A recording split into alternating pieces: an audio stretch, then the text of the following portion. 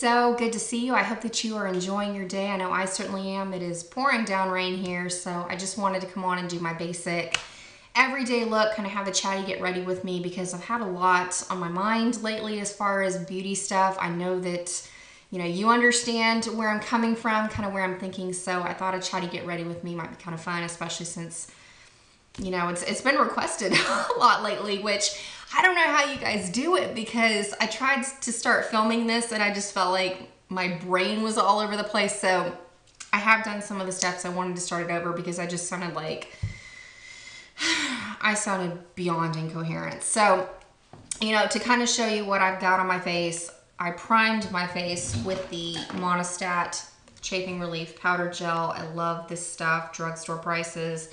It's amazing. And then um, foundation-wise, I've got on the Inglot AMC Cream Foundation in the shade LC100. Um, my husband picked this up for me in Prague. I kind of just wanted to use it because it's really suiting me now that I've got a slight bit of color. I mean, I don't self-tan or anything, but it's working for me right now, and I actually really do like the foundation. And then as far as my setting powder, I went on and used the NARS Translucent Crystal Setting Powder to set my entire face. Um, my eyeshadow base, I've got the Urban Decay Primer Potion in the original formula and the um, NYX Jumbo Eyeshadow Pencil in Milk because I know there are uh, quite a few of you that are new subscribers. I use that to brighten up my inner corners and under my brow bone for my frames. And then, um, like I said, basic look with the Lorac Pro palette as we continue to pan the palette because um, I'm running errands today. I've got some things to do at school for my son and teachers. So I wanted a no muss, no fuss kind of makeup look. And so the other shadow base I wanted to use on my lid is the Buxom Cream Shadow in the shade Poodle. It's just a beautiful um, light white gold color. And then I've gone through with um, mauve in my crease. I just took it on a flat shader brush, kind of tapped it off a little bit, made a cut crease transition shade for my hooded lids, and now we're gonna kind of get into um, the rest of the eye look. Because like I said, trying to put on makeup and talk at the same time is challenging. so, it is so challenging. Um, but I just, I kind of wanted to come on here and do a chatty get ready with me because last night I really, it's more than just last night. Um, I've really been thinking long and hard, you know, about me versus my collection. I'm just taking light bronze all over my lid right now on top of that buxom shadow. Um, and I've just, I've come to a point where I'm done. I'm done shopping at Sephora. And I think that I finally hit that sweet spot in the I'm on a no buy, like, or, or in a no buy because um, I have to admit that this year has been a little bit of a, a learning curve. I have not made it, you know, every single month since January without purchasing makeup because it's challenging. It is very, very tough when you're used to just being able to go and purchase whenever. Um, but I, I just wanted to sit down and share that I think it's because, like, between the the Lorac Mega Pro bust last year, even though I got to get one the second time around, it was like there was that big palette bust, and then I didn't purchase any makeup during the Epic Rewards deal, but I was really disappointed in how Sephora handled it with the people that did choose to purchase. And so I finally just thought everything through, thought what it means to be a part of the rewards program. And at the end of the day, it's not. It is not. And I mean, I guess where I, where I really should go, as I put, I, I'm taking a small, actually, let me do my highlighting first. Um, I'm taking a fluffy shader brush and I'm just going into a matte cream shade. I finally finished my uh, cream from Lorac Pro.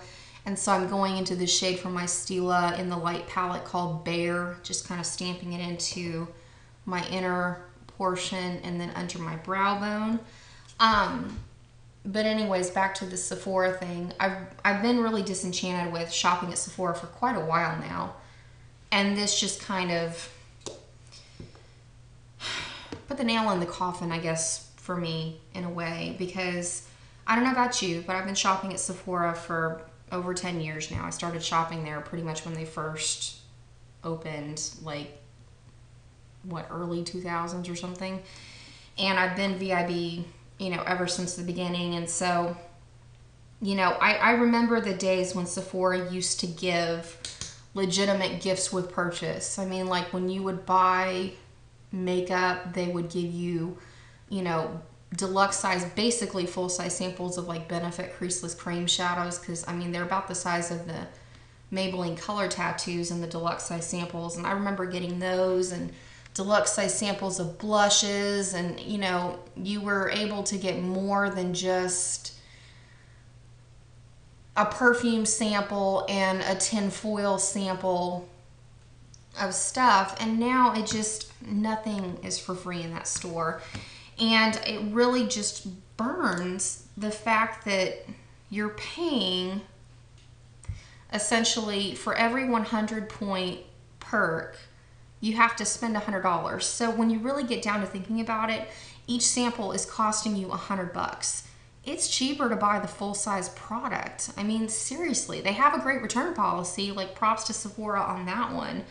But I just feel like there's no incentive because I mean, to get VIB Rouge, it means you're spending a thousand dollars a year and you're only entitled to 10 samples if you don't have any backup points saved, or if you're a VIB member, it's what, three samples and some change you know, I don't remember if it's what $315 or 350 I don't remember. It's it's been a little bit since I've looked. You know, and, and if you're a beauty insider, I mean, it's just like there's no incentive to really go and shop at Sephora anymore. You know what I mean? Because that was the other thing of like, it just kind of boggled my mind when I first earned VIB Rouge because one of the big perks was free two day shipping. The shipping for me has always been fast from Sephora. And the way I see it is if you've gotten to the point of earning VIB Rouge, you're muscle trained to spend 50 bucks online so you avoid the shipping costs. I mean, that's just, it is what it is. We've been muscle trained for so long. And so I didn't see that as a perk. Now I'm going in with my um, NYX eyeliner in dark brown that I'm using for my Finish 13 by Halloween. Just kind of going over my eyes here. So, I mean, I just, it, it's something to think about. And, you know, if you saw my picture, you saw kind of my thinking out loud of what we could potentially spend in a year as far as our makeup collections. Because, I mean, if you're signing yourself up for VIB Rouge. It means you are holding yourself accountable to spend $1,000 per year to maintain that VIB Rouge. And then if you've earned VIB Rouge, you might be shopping at Ulta as well because I know I've kind of started transferring some of my stuff over to Ulta because I can actually convert my points to cash back and then still use Ebates if I shop online. And then I don't have to wait for the friends and family sale or the 20% off sale in November or the 20% off sale in what March. I can get 20% off whenever they send me the coupon. So I just I really feel like I've hit a good place, a sweet spot in this no buy because even though I have not made it the entire year so far without purchasing makeup because I mean that's a hard hard thing to do and if you're if you if you've done it, I am so in admiration. I think that I needed a little bit more time. And now that I have the realizations I do, I'm ready for it. Like I really feel ready for it because I mean, a thousand dollars a year at Sephora, four hundred dollars a year to get to maintain your platinum so that your points don't expire at Ulta. That's already fourteen hundred dollars in makeup that you've volunteered yourself all right, so let's say you have an Ipsy bag too, and that's, you know, the $10 a month, and then you have Birchbox, another $10 a month. Well, add that up over the course of a year, you're looking at $240. So if you add up being a VIB Rouge member, $1,000 a year, the Ulta Platinum member, 400 plus $240 in subscriptions, you've automatically volunteered yourself to spend $1,640 a year. This is before walking into Target. This is before walking into any of your department stores. If you like to buy Chanel, you like to buy MAC, um, or if you're shopping online before you buy anything from ColourPop or Makeup Geek, it just $1,640 in potential money that we're already allocating to makeup. I mean, think about it. In five years, you could buy a, a great car. You could put, you know, a down payment on a house. You could do all sorts of things with that. It just, it really, I don't know. Like I, like I said, I've, I've really come to terms with my spending in the last couple of years compared to what it was. And my spending is nowhere near what it was on makeup, but it really just, it was it was a tough tough thing to swallow last night when I really got down and, and wrote those numbers out to be like, ugh, you know, just a knife to the jugular because I have to admit, I was excited to earn VIB Rouge. I'm going to go in with espresso. Like I said, I don't know how you do this where you can talk and put on makeup at the same time because this is not necessarily working for me. Um, I'm just basically setting my liner because when I wear um, any type of liner. It doesn't matter if it's a cream, a gel, a pencil. Because I have hooded eyes and it's humid, I like to set them just so I don't have to worry about my liner going anywhere during the day. Um, but anyways, like, you know, just kind of going back to the Sephora thing, I have to admit, I was excited about earning VIB Rouge because I kept, you know, I knew I'd exceeded the point of spending for VIB and you know VIB Rouge had been in effect for you know well over a year because I haven't actually been a VIB Rouge that long. Um, but when I finally earned it, I was just kind of like, now what? Like, I really think there'd be more incentive to shop at Sephora if they actually did a little bit more for the for the Rouge people because I mean even with the Epic Rewards I was a little bit disappointed in how they handled it because like I said, I didn't purchase any makeup in that. I had no intentions of going in to try for the Epic Rewards because I've been on a no buy. But as far as I understand, the people that spent money and sent in an email, their compensation for it was a $50 gift card to Sephora. It won't even get you a deluxe size sample. You know what I mean? Like it just it kind of rubbed me the wrong way. You know what I mean? And I really feel like it would be more of an incentive to shop in there if they'd offer VIB Rouge members maybe a quarterly sample box where they send a just a little bag of like maybe five samples of things to try, maybe a skincare, a hair care, a makeup item. Just something to say thank you for shopping at our store. Thank you for choosing to spend your money with us as opposed to going to other you know, uh, businesses. And I just, I don't feel like that's there. Um, I feel like maybe Sephora's been on the top of the food chain a little too long. I don't know. Like I said, I've been shopping there a long, long time. And I really just kind of, I didn't shop at Ulta because it wasn't necessarily convenient. I wanted to keep all my makeup shopping kind of confined in one deal, you know, with the exception of going to the department stores if I wanted to pick up brands that I couldn't find at Sephora. And now I feel like I'm going to make more of an effort to go into. All right, and then next I'm taking the Maybelline um, Instant Age Rewind Eraser for Dark Circles and Brightener and just kind of going under my eyes. But I have to admit that, you know, I like this fact that Sephora has kind of the more boutique-like feel. You know, you can find them in the mall, whereas Ulta, you kind of have to drive up to a strip mall. It's doesn't feel as fancy to go in, but at the same time, I just, I can't get myself anywhere torn away from the idea that shopping at Sephora is not rewarding anymore. I mean, if I have to spend $100 for a sample, or if I buy the 250 sample point perk, I have to spend $250 to get, what, three samples? And then if you spend 500 points on a 500 point perk, that's the equivalent of $500 and a thousand. I mean, it's just, it seems so ludicrous to me. And I just, the way I see it is if you spend the thousand dollars at Sephora every year, and then you go in and spend the four hundred dollars plus at Ulta, because I mean, think about it. If we spend the thousand dollars to get VIB Rouge, more than likely we're spending beyond that to make sure that we maintain it. Same thing at Ulta. We're making sure we spend beyond the four hundred dollars so that we maintain it into the following year. You've bought everything. like literally nothing new can be made that you don't have except for packaging.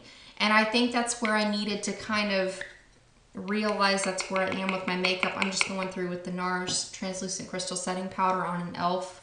Uh, powder brush and setting my under eye concealer. But I think that's where I finally had to realize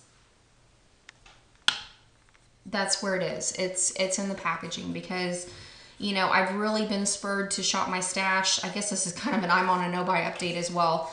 Um, I've really been inspired to shop my stash because when I see things like the Carli Bybel or Carli Bybel palette that she's coming out with BH Cosmetics, I instantly looked at the shades and I'm like, it looks like the Lorac Pro. It looks like the Naked palette. It looks like every other neutral eyeshadow palette except she focused on bronze and gold.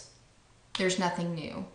Um, ColourPop really kind of appealed to me because it's a trendy thing, but then I was looking at the colors and I'm like, I've already got things at home. I might as well stick to what I have, and when I downsize, then I can try ColourPop. Or looking at the Lorac Mega Pro 2 palette that's going to come out this holiday season. I really, as far as the Mega Pro palette is concerned, I really think that those colors were kind of an afterthought. I agree with Autumn on this, that they just, it feels like they just kind of mishmashed colors together in a hurry to get the palette out to soothe the demand that was going on around it. But I don't think that they put a lot of thought. I'm going to run uh, pewter on my lower lash line with a uh, pencil brush. This is an e.l.f. pencil brush. And so when I was looking at the swatches of the um, Mega Pro 2 palette. I was just, I was unimpressed. I mean, the color names weren't original. And one of the things about Lorac that really kind of bugs me to no end is the fact that um, a lot of their, what seem like intensely pigmented shades are really just black eyeshadow with whatever shimmer the color is. Like deep purple is black eyeshadow with purple shimmer. Deep teal is black eyeshadow with teal shimmer. Jade from the Pro 2 palette is black eyeshadow with green shimmer. I mean, you get my drift. And so, you know, I certainly am a lot less persuaded to buy that palette after panning the Lorac Pro palette this year because I don't want more of that type of situation in my collection. But, you know, then I saw like the Urban Decay Vice palette and swatches and it's pretty. Don't get me wrong. You know, I, I would totally understand if you fall in love with it. This is benefits uh, Hoola that I'm going to go in and contour my face with. But I just, like, I finally realized I already, I have everything that's coming out. And it just, it's not exciting anymore. And then now that they're also talking about releasing the NARS Pro palette, where you can fill up the entire thing with your own pans, it sounds cool on one side because then you're like, I can have NARS packaging with all of the NARS eyeshadows and blushes and fill up a palette so it's all in one place. I get it, it looks pretty in our storage. But at the same time, it's probably going to be cheaper to buy a Makeup Geek, you know, palette, or Z palette, not Makeup Geek palette, Z palette than it will be to buy the NARS thing. And then if you buy the NARS palette, I don't know if you're like me, but if you have empty space in it, you're going to want to fill it at some point unless you've panned it. And so it's just, it's encouraging you to spend more money. Or like the Kat Von D Shade and Light contouring palette that's going to have the refillable pans. Sounds great. It, you know, it would be great, but you know, it just, it's buying a second refill of the same thing or, or the other one, the Hourglass, where the highlighting powders and the blush are in the same palette. You realize how many people are going to go crazy over that thing and it's going to sell out and they already own the highlighting palette and the blush palette separately, but they're going to buy that just because it's all in one place. Like it's just, it's nuts. Now I'm taking mauve on an e.l.f. blush brush. I'm just going to go through and do my cheeks. I've really liked mauve um, as a blush with this look because it's so subtle and it's also helping me to get through mauve a little bit faster. Um, you know, but I just, I don't know. Kind of comment below and tell me what you think because just sixteen hundred for you know sixteen hundred forty dollars a year is it's crazy. It's absolutely crazy. I don't know. And and I don't even do the subscription services, but I know like I am a VIB Rouge member. Um, I'm obviously going to lose it because I'm not buying makeup. But even if I didn't have the VIB Rouge, I'm at the point where I don't even care if I'm a VIB member. And I know that takes a lot coming from me because I've been a VIB member for 10 years. I mean, it just, I don't care. I don't, it's, it's not a reward anymore to shop there. And I just, I don't know. Like I'd like to maintain my, my platinum membership at Ulta because I can convert that to cash back. Cause I mean, basically when I bought my Sugar Pop palette, from Too Faced. I got it for free. I'm just highlighting with Bare from um, my Stila palette to kind of start using that a little bit because, oh, well, I guess we can kind of talk about that. But as far as pan that palette for next year, I have officially decided to pan my Stila in the light and I'm also going to pan my Stila in the Know because I thought that would be a great um, palette for me to personally choose because it's one of my older, but it's also one of the not so much talked about. I know Miu Miu G is panning hers. Um, there have been a couple other people painting their Stila palette as well. And if you're kind of at a cross point, not knowing which palette to choose, those are good places to start because even if you use your palettes that have the cardboard packaging, they basically re-released them with the gold, um, what are, they're called like the Spirit palette and I forget what the matte palette was, but they look like in the light and in the nose. So if you fall in love with those shades, you can purchase them, but I wanted to choose the Stila palettes because I've really, really enjoyed having the huge community this year of people painting the Lorac Pro palette.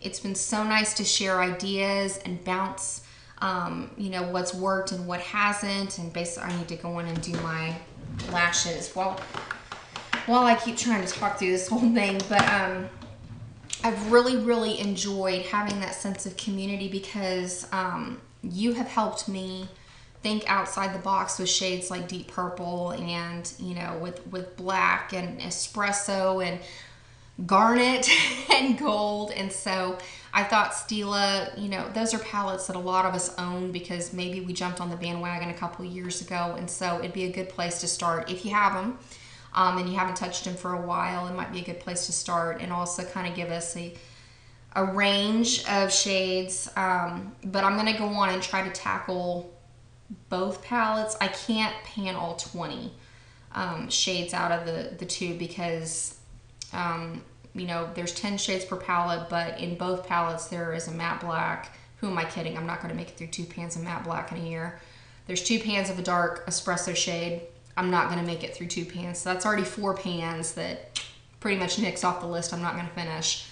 Um, so I thought about it and I want to go on and tackle as much of the so I want to tackle as much of the Stila and the light palette as I can and see what I can accomplish out of the um, Stila and the Know palette. I'm just going through and curling my lashes with a Revlon lash curler. I know super fancy, but if you have hooded eyes, this is a great, um, you know, technique to have if you want to make your lashes look a little bit bigger. And I'm going through with this Clinique um, pardon me, High Impact Extreme Volume Mascara in the darkest black shade.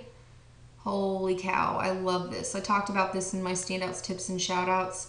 And it is a mascara that I kind of had to come around to love because when I first got it, it was a, a messy, messy product to deal with. It was all over my face. It was not cool. In the humidity, it would slide everywhere. It made my eyes burn. But I realized that once you let it dry out a little bit, it really does wonderful things for, for your lashes. So I heard that per recommendation from Marnie or Miss Gold Girl. And now I think, you know, I could be persuaded to try some more Clinique products in the future. So, yeah, that's basically my face, I guess. That just, I need some practice at these chatty get ready with me's, but basically need to get out my MAC Fix Plus spritz that. Get my glasses here. But I don't know, just kind of comment below and eh, I'm interested to hear how you feel about things because I don't feel a need to apologize for my makeup collection. I mean, I've accumulated it over the course of years. Makeup has always been a passion for me and it's it's a hobby. It's something that I enjoy spending my money on. I choose to spend my money on. But I just I finally hit that point where I'm like enough is enough. This is why I'm I'm painting palettes. This is why I'm downsizing my collection because I'm just I'm over bringing more of the same more of the same home. Even if it looks a little bit different, I'm tired of bringing home more of the same. So, um, lips, almost forgot about that. Brings me back to case in point. Um, I really, really loved the Bite Beauty lipstick in the shade Rhubarb. And I actually finished painting it a couple of weeks ago. So I went through my collection and I found the Too Faced La Creme lipstick in Pink Chocolate duplicate shade. So P.S. And by the way, if you want Okay, so that's about it. Just gonna put on a necklace and be done for the day. Thank you so much for taking the time to watch this, for bearing with me. This was pretty fun, but I think next time I'll be a little bit more kind of put together and things to talk about. So I hope that you enjoy your day, that you have a fantastic week, and I look forward to seeing you very, very soon. Bye.